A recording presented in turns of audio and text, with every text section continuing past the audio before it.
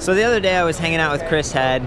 We were looking at these new Pacer and Catalyst bikes from Smart Motion, and I was told that you know this is a company that started in New Zealand. They've been in Europe, and I ran into Darryl here, who's you're like the founder of that company, or give me the story, man. Yeah, so um, actually it's Anthony over here and myself. Um, we kind of kicked this company off a few years ago. Okay, just a few years, man. Yeah, yeah it's not it's not that old. Um, Anthony got involved with uh, electrifying the New Zealand Post bicycle fleet for postal service deliveries. Uh, for like delivering mail and stuff? Yeah, that's the one. That's a good idea. So he, he developed up the system for them, and after that was finished, he sort of said, Well, I've got this awesome, sort of robust system now, and he thought, Let's build a bike brand around Who it. Who else would want this, right?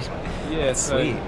So he did that, and um, I sort of I met up with him pretty soon after he kicked that um, bike company off, and having an industrial design background. Okay, cool. And uh, being into bikes for my whole life, I sort of said, well, you got some nice bikes, but we can do a bit better than that. Well, so tell me on this, like what parts you've been involved with, because there are some really cool touch points. There's a lot of unique qualities with this. Yeah, well, this bike, I mean, apart from the stock components like wheels and hubs and rims and bars, we've pretty much entirely designed the whole bike.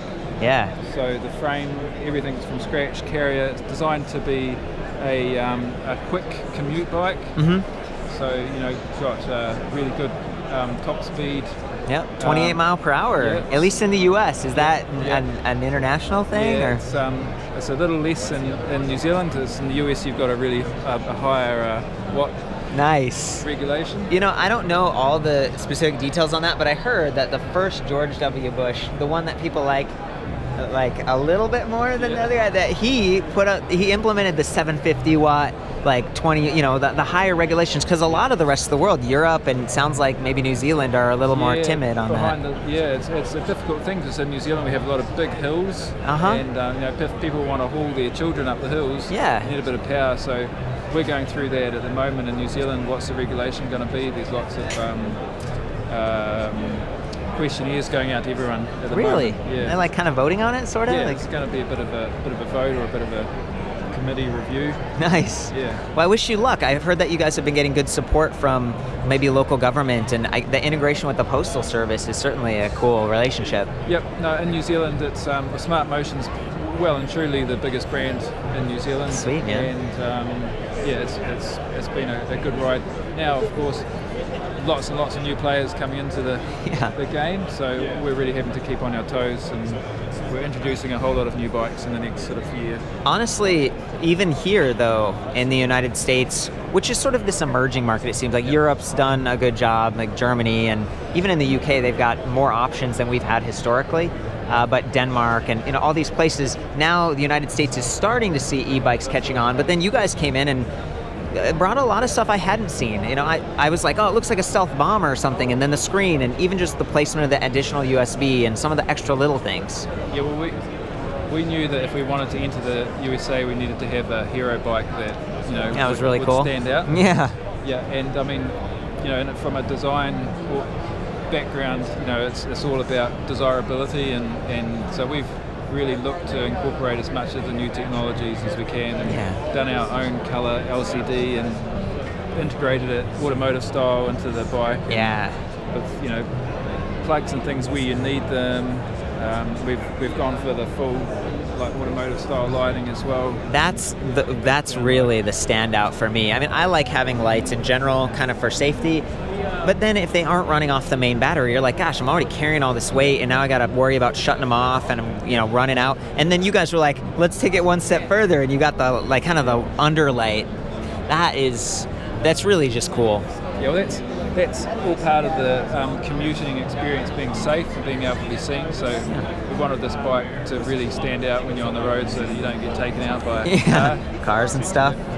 Can you show me some of the other stuff? Because I know Smart Motion has the Catalyst here, which is a bit more like a hardtail trail bike, maybe? Yep, so that sort of opens up the bike scope a bit more for all terrain. Mm-hmm. Um, so it's based on the same frame as the Pacer uses, but of course we've got front shocks there. Yeah. And um, the, the, aggressive tyres. The same hydraulic disc brakes, same yep. higher speed too, which is yep, kind of yep, cool. And um, up to 17 amp hour 48 volt batteries, so huge, huge batteries um, at the moment. That's the USA only at the moment too, because you guys have the Super. higher regulations.